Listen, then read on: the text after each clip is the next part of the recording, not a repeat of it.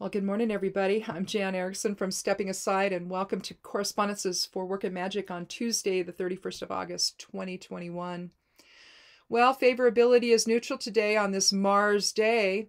Uh, passion, manifestation, creativity, self assertion, and reducing conflict are among the things that you can focus on today. Um, let's see elements fire, colors red, uh, you can use some amethyst, bloodstone, lodestone, jasper, or diamond on the altar.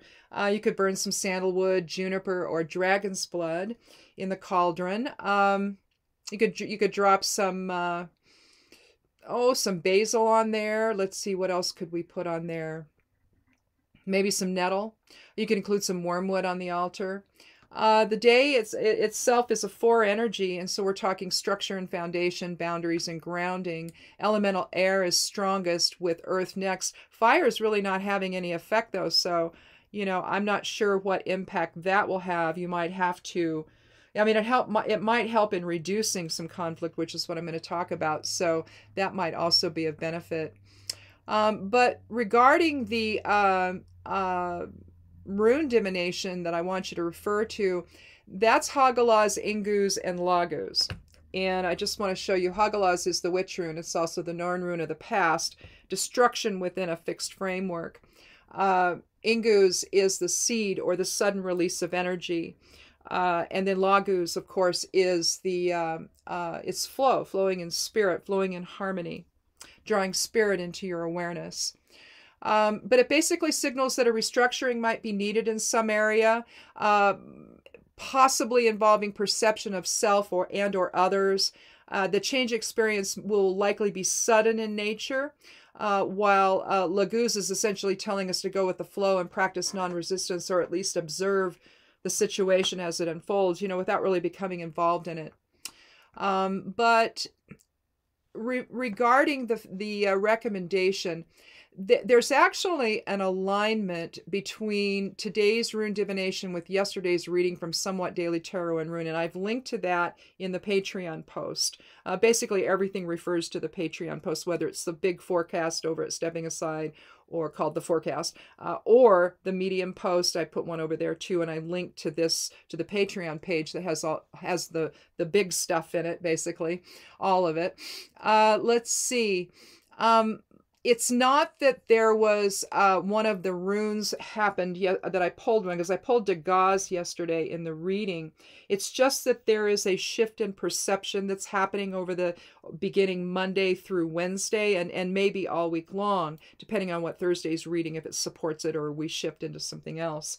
Uh, last week it was just all you know the same stuff all week long with with a bunch of major arcana cards influencing um, but but basically this is perception and so i think what today's rune divination is telling us is kind of how that's going to happen maybe. And so um so if you want to refer to that if you didn't see it already just to, as a refresher you can look at that and listen to that. But you'll want to refer to today's rune divination for the underlying energies at work and craft a working that manifests a shift in perception or behavior while managing still managing conflict. I, I know, lots of things to do. Either create a bind rune to use as a focus from the uh, uh, from the rune divination, or uh, and I tried doing that, but I just couldn't find a way to do this with Hagalaz as the outside structure of it. Maybe using Inguz as the outside structure might be better, and then put the Hagalaz and and uh, uh, inside that maybe. But you can the only the other thing you can do is just carry Laguz with you, you know, and and focus on that and keep it with you.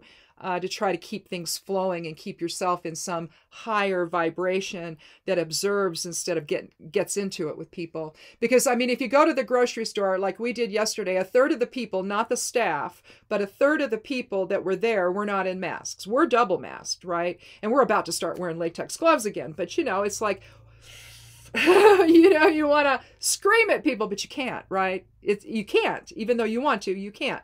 You you, you want to give them looks like, "What are you doing?" But but you can't, right? You just can't. It's not safe to do that now. So maybe ever, I don't know. But anyway, um, I think that uh, uh, you can use either the noon or sunset hours to work the spell Uh, and remember, those hours, noon involves strength, opportunity, success, protection, and wealth. Sunset involves letting go and release. You know, so you can kind of see how both might be involved there. Um, also, uh, you know, work the spell in the hour of Mars that's in your location. And again, I've linked to that geo site that shows that. And all you have to do up at the top is put your city and state in, and then the, the chart will actually be accurate for you. Our, mine is accurate for Portland. And so Portland, Oregon. So just to give a general one uh, uh, in, in, that in that side of the world, uh, I'm a little I'm a little uh, east of that, but but that's okay. I would change it for my own. Uh, but Portland will work if you're on the West Coast. Otherwise, just put your own city and state in there and you'll get the accurate one. Um, so the planetary seal for Mars may helpful may be helpful to suppress conflict, and I've included that on the Patreon page. What that looks like, you can draw that out, or if you already have it. Sometimes it's nice to just uh, do them in a uh, go ahead and wood burn them onto to something, a piece of wood that, uh, or draw them, have them ready for your your working. But it's also nice to do it within the working itself. Um, but that can but the seals are going to stop things where the squares invoke and so we would use a seal to to tamp down any conflict here as the perceptions are shifting because that can be a difficult moment for people. Um, essentially the purpose of the working is to keep your own awareness higher than what may be stimulating the sudden change that's experienced so that an egoic response is avoided. Again you know a third of the people there had no masks on at all. And then some of them were parents and children. It's like oh my god right? Under 12 right? Who can't get the vaccine yet. Oh boy Anyway, although you can use a red candle to ignite the manifestation energy, a pink candle can also be used to reduce that energy before it overshadows the flow you need to remain in. And you can use two candles. You can do a red one and a pink one if you want to, uh, or a green one or whatever, uh, and move the energy from one to the other with the seal maybe in the middle. Um, you, you could do it that way. Uh, or you know however you want to do it that's just an idea a white candle can be substitute for the pink if you don't have one um, and eh, moving from one state to another you could use black and white uh, although black I, I like to just use pretty much all the time because of eh, I'm in the crone phase of life, and so it's it's uh, it's more uh, goddess energy. It's more energy from the void of creation. Uh, so I mean, it's to me, it's just I, I don't know it's a no-brainer i just use black all the time but but uh, but not always i mean i i i, I do have other I, I do use other stuff so anyway that aside that doesn't matter anyhow but the idea here is here is to again to reduce the mars effect on the situation that's why the planetary seal uh, may be helpful and also a review of today's retrograde planets may also be useful um, again, when you look at that retrograde stuff, you're looking at the inner work we all need to do, basically. So, an example Jupiter's currently in retrograde.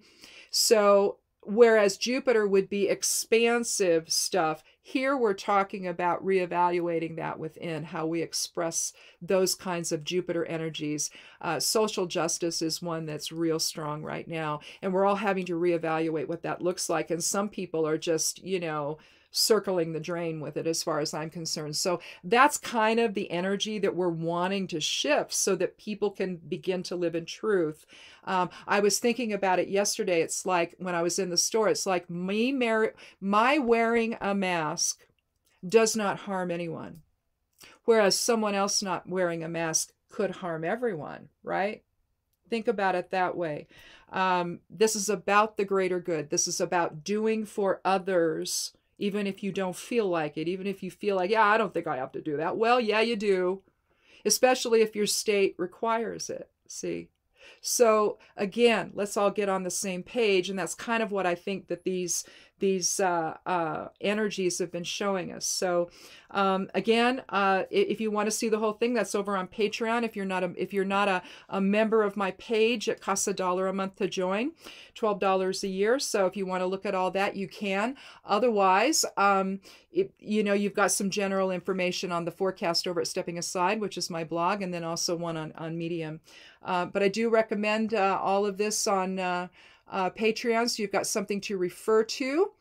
And uh, I guess that's it. Um, have a good day. Be good to yourself. Be good to one another.